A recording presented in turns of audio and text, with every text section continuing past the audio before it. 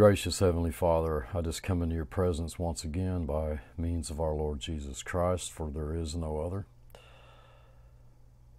Thankful for the opportunity that you've given us, that you continue to give us to just study your word together. I ask that you would just filter out all of the nonsense, all of the foolishness, but seal to our hearts only truth, for it's in Christ's name I pray. Amen. Hi, this is Steve at blessedhopeforever.com, and we're continuing on in our study in the Epistle of Jude. Scripture is God breathed. We're not looking at the thoughts, the ideas, the inventions, the uh, or anything else of the human author, and I'm not trying to take away from from their own personal experience or what God, how God worked in their life. But Scripture is God breathed. I'm not concerned about where Jude got his ideas. And the reason for that is it's because it, it is the Holy Spirit that is leading Jude to write this epistle. The author of this book is God Almighty, the same God who redeemed us, who made us new creations in Christ we looked at verse 5, and I suggested that we were looking at a mixed multitude, some of which were overthrown in the wilderness due to their unbelief.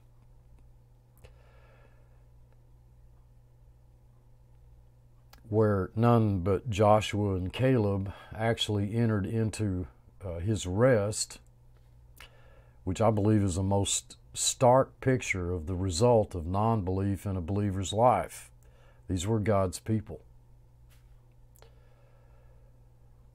And as I pointed out, believers do not always believe. Now, don't misunderstand me. I'm not talking about uh, the gospel, but in fact, I, I will go as far as to suggest that there are many who have been redeemed, who have been bought and purchased by the blood of Christ. They are the elect, the chosen of God, yet they do not, may not yet know it, and uh, they're not, uh, in many cases, they're not absolutely, uh, I would say, in, in, line with the truth concerning the gospel. So, in a sense, they're they're believers, but they're not believing.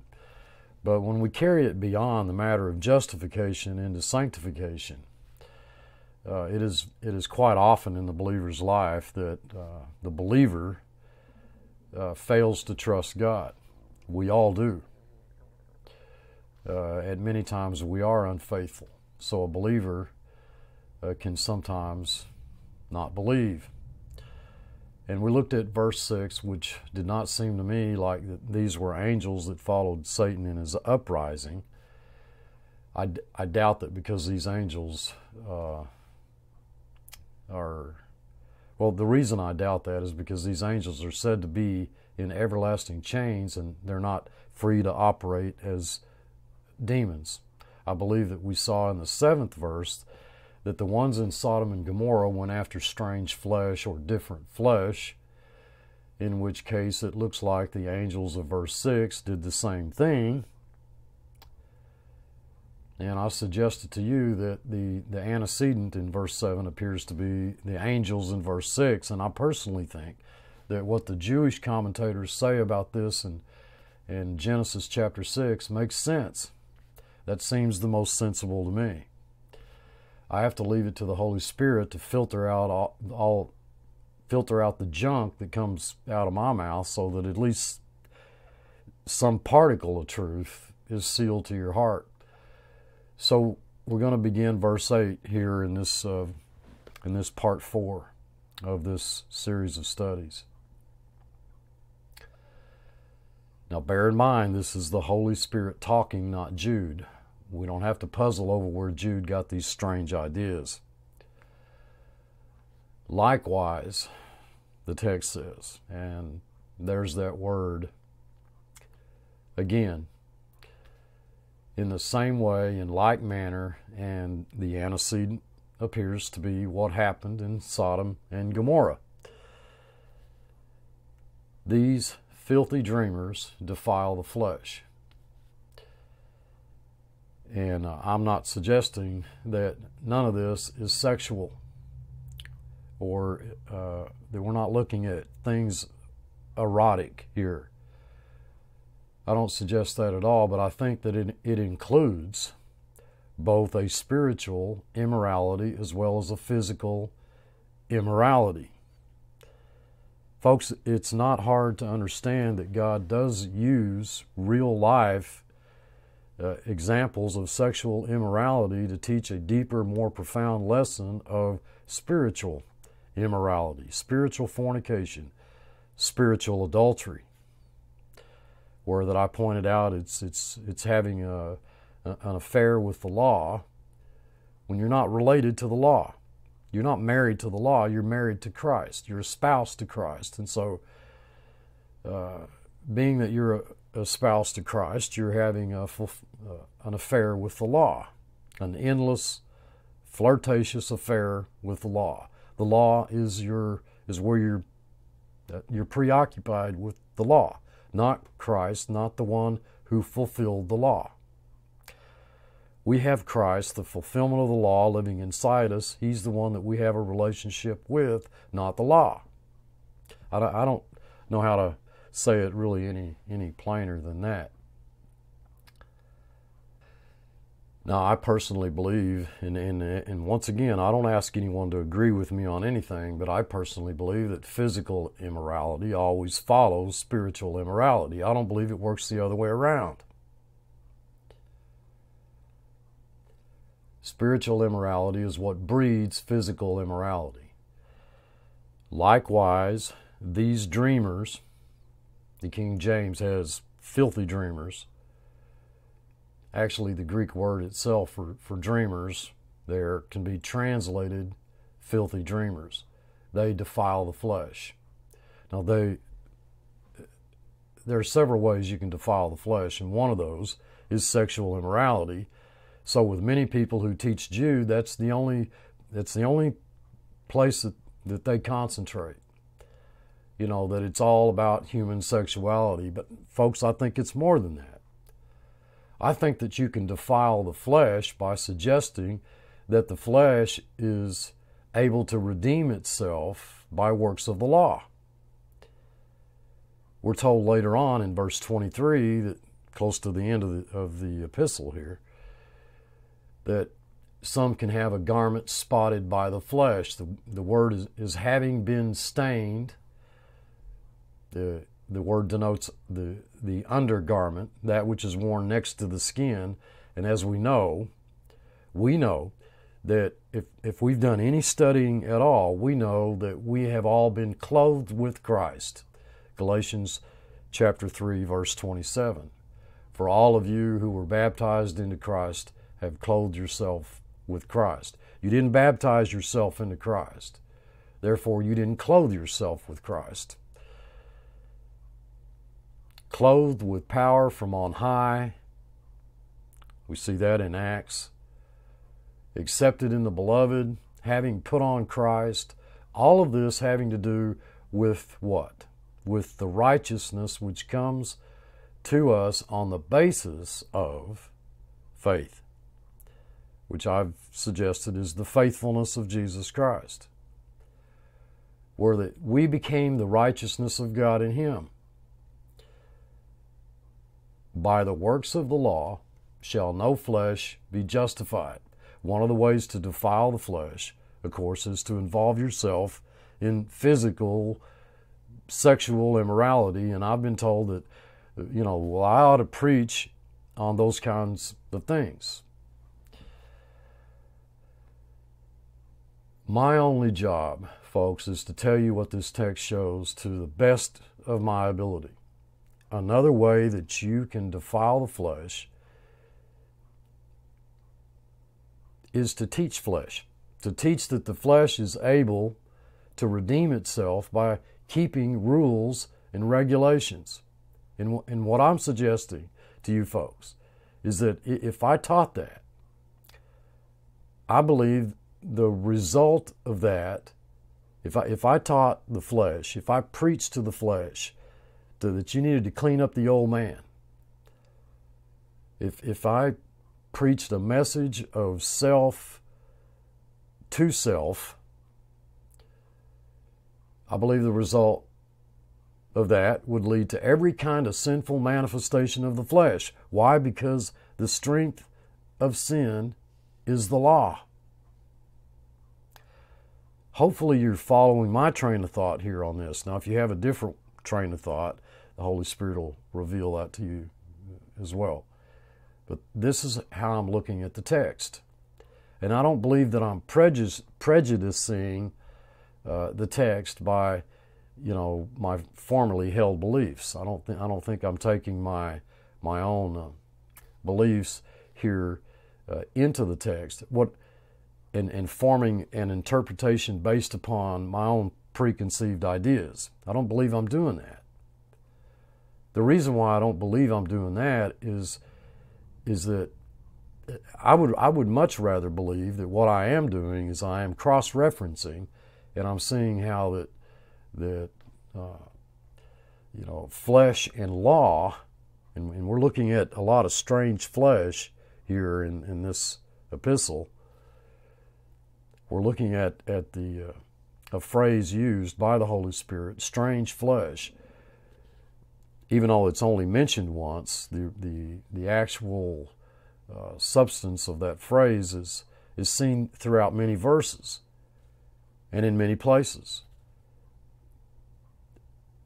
We know that we walk according to the Spirit, not according to the flesh. I hope you understand what I'm trying to, to drive home here, the point that I'm trying to make.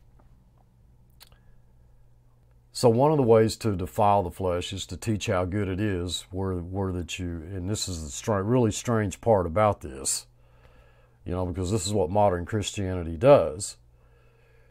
You know, it teaches that you're really, uh, really not totally depraved. The old man, there is no such thing as an old man. You're just a single-natured individual.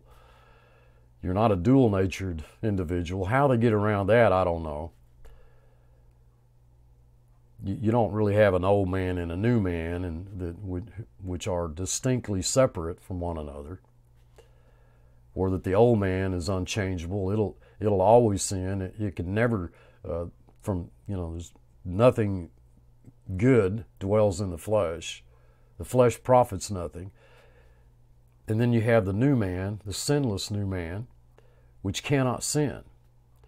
Why? Because his seed abides in us and we cannot sin. So it's really odd to me that, that you know, in modern Christianity or modern uh, basically most pulpit teaching, you know, uh, preaches to the flesh because they preach law. So one of the ways to defile the flesh is to teach how good it is, where that you strangely wind up later having to make a confession concerning how bad it is. You know, I got really got to scratch my head over that one. So these filthy dreamers defile the flesh. The word dreamers there, the word means to dream while asleep. Well, that seems to make sense. But figuratively, a daydream in which the believer meditates, contemplates. Uh, Jude uses the word in connection with the wrong kind of dreaming. This, this hoping, this desiring. It, it resists, it opposes God's authority, yet it, it expects, uh, you know, its personal aspirations to be met. The uh, ideas, the inventions of his own daydreams, it, ex- it expects God to grant those. This this word, this word, folks, it describes a person that is completely out of touch with the principles of sound doctrine and just basically makes things up. This is just what I think. This is what I dream. Daydreamer. Dreaming while awake. So essentially, defiling the flesh is to teach that the flesh can better itself by doing righteousness. The flesh can become righteous. I'm going to tell you that your flesh is not you know, totally depraved. I'm going to tell you how good it is. And if you really work hard at it, I mean, really, really work hard at it, you know, and, and be like most of your other Christian friends that seem to be making it because you're not, you know, then you can go to heaven. And I've defiled the flesh. These people, they despise dominions and they speak evil of dignities. And I, I do not think that's describing Trump haters. Or, or to be fair, you know, Biden haters, or, you know, fill in the blanks. God does set up over the nations whomever He will. Most of us know that. But I seriously doubt that the Holy Spirit has politicians in mind here. These filthy dreamers who defile the flesh, who say, if you really work at it, you can go to heaven. Or I know we're under grace, but we still got to keep the law. Or you got to clean up the flesh. These, these particular individuals, they say that dominions and areas of authority that God has established are invalid. So they're in, in effect, they're, what they're saying is that they're saying that those whom God has placed in authority over them are evil. That's what they're saying. That's what the text is telling us. These are individuals who are, who are on their own. There's no authority over them. People who declare invalid areas of authority, and they have no respect for those who are over them in those areas of authority.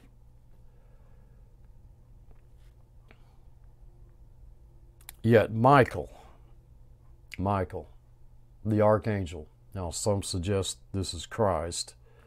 I don't believe it's Christ. I believe it's, uh, I guess, and I, and I, I do believe that you could make a good, you might make a good argument for it being Christ. I personally don't believe it's Christ. I believe it's Michael the archangel, although there is some biblical ar, ar, biblical uh, argument uh, that the term is used of, of our Lord Jesus Christ. I think Michael is the one who stands for his people. Michael the archangel, when he contended with the devil in disputing about the body of Moses, could not bring against him a railing accusation. All he could say was, The Lord rebuke you. The Lord rebuke you.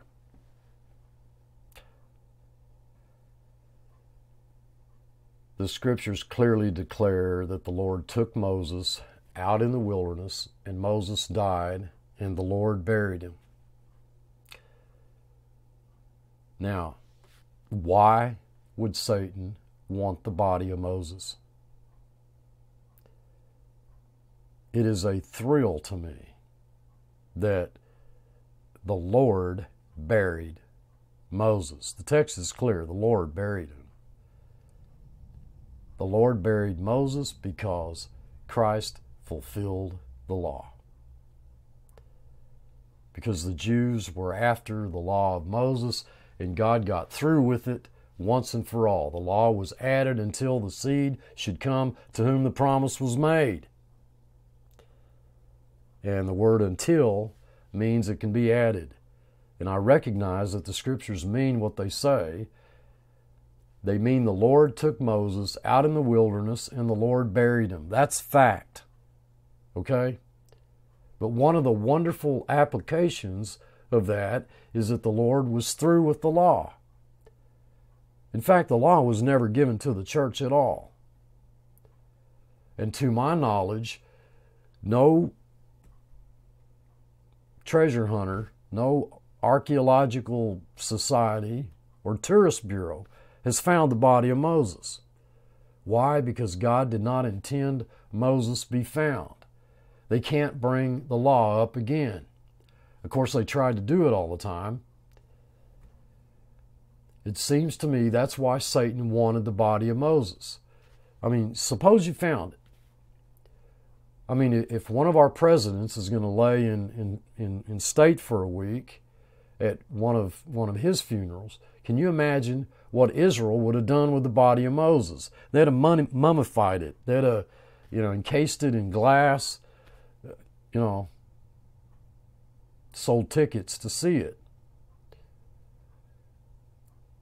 And it would have been their God until Jesus returned. Satan knew that. Satan knew one of the wonderful things that he could do to corrupt God's people would have been to possess the body of Moses, a dead man.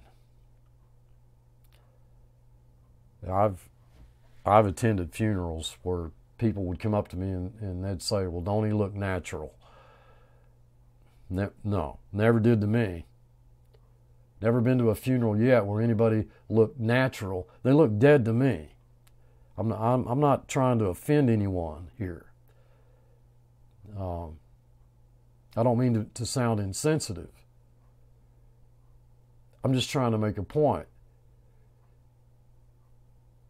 Now we know that the law is not dead, but we've clearly we know we've died to the law. We've died to the law in order that we might bear fruit unto God. I'm not going to bring an accusation against someone who has defiled the flesh. Uh, uh, you know, if you're if you're teaching law, I'm not going to, you know, bring an accusation against you and say, you know, well, you know, you're the devil for doing so. As if I was Michael saying that you're the devil, you know, Michael the archangel could have said, you know, but but you're the devil. He didn't do that. All he said was, The Lord rebuke you. The Lord rebuke you. How do we do that? How do we rebuke? By means of the truth of the Word of God. It's the only way. We don't have a rebuke of our own, made up of our own words. Anyhow, we know from Deuteronomy 34, verse 6, that it was the Lord who buried Moses. We know that Michael the archangel contended with Satan over his body. We know that the Lord buried his body, that the Lord in, intended that Moses not be found, his body not be found. Now, what Michael and the devil did, you know, fight, talk, debate, you know, I have no idea. I don't know if the devil knew where the body was, or if it. I don't know if Israel went out looking for uh, Moses' body, or if Josh, uh, Joshua said, you know, you're wasting your time looking. But I have no doubt it, at all as to why the devil wanted the body. He wanted, he wanted it, the body of Moses, to resurrect the law, and that has always been Satan's argument. But as then he that was born after the flesh persecuted him that was born after the Spirit, even so it is now. Nevertheless, what saith the Scripture? Cast out the bondwoman and her son, for the son of the bondwoman shall not be heir with the son of the free woman. Galatians 4 29 and 30. These people are speaking evil of things which they don't know. These people are speaking evil about something they know nothing about. You go on some of these apostate websites, and the things that they say about grace are evil. You know, it's so easy to speak evil of something that you don't know anything about. If they knew God, it'd be a tremendously different situation. They speak evil of those things which they do not know, and the word know there in the text is oida, and it's it's in the perfect tense. I have to conclude from that that they never knew it. There is that segment of Christianity that believes that, that one who is God's can can can apostatize to the extent that they go to hell, even though they were redeemed, which is a, really a foolish argument, a foolish, foolish argument. It is the finished work of Jesus Christ. Since you go to heaven based on something that you didn't do, how can you undo something you didn't do? On the other hand, if you think you go to heaven because of something you did, well, it's no giant leap to say that you can undo what you did. The truth is that we are God's children because we are born from above by God, by the will of God, not by the will of the flesh, John 1:13. The perfect tense of the words not know or know not in the, in the in our text here indicates that they never were God's people. They weren't God's people, and, and then they, at one point, and then they lost that position, and now all of a sudden they're not God's people. They, they were never God's people. They simply don't know it.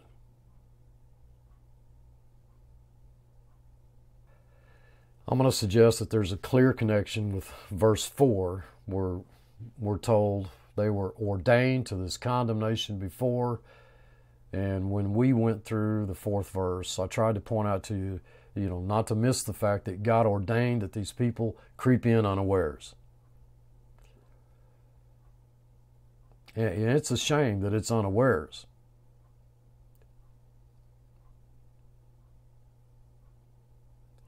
I, don't think that the text really allows us to really even say that we ought to that we ought to know enough biblical doctrine where we don't allow that to happen. Folks, it's going to happen.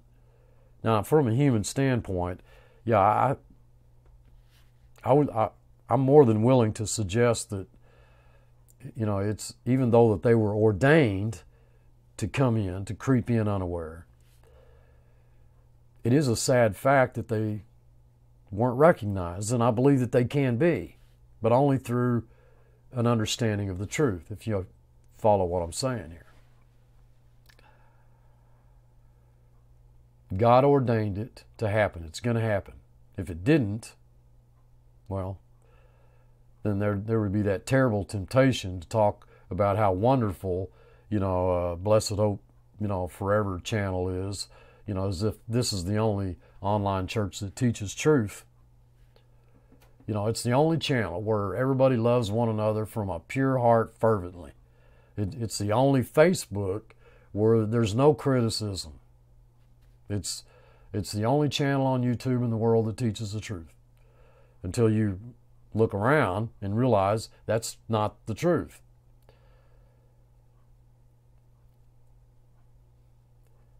You're not going to find a perfect pastor. What you are going to find is a, a perfect Jesus Christ. Perfection is Jesus Christ. Now, I may be pushing the perfect tense here. That's up to you to, to decide, but I believe that there's a connection with the fact that God ordained that they never knew the truth. But what they do know naturally as brute beasts, in those things they corrupt themselves. What they do know naturally as brute beasts, in those things they corrupt themselves. And I am not able to tell you how important that verse is.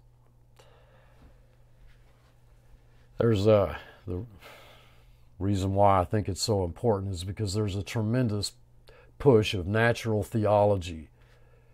What we see in, in human nature and what we know from experience is considered to be truth. People that have faith in something like the scriptures. I mean, I mean, who in the world can believe that? But but we can believe experiences.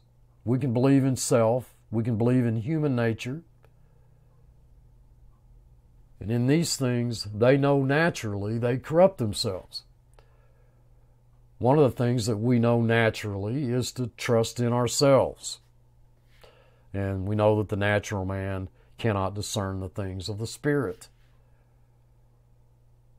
even the so called atheist, which I, I don't believe there really is such a thing, but they trust a God called chance or, or, or, or time. But here we're talking about those who crept in unaware. They don't know any more than the unregenerate man knows because that's what they are unregenerate.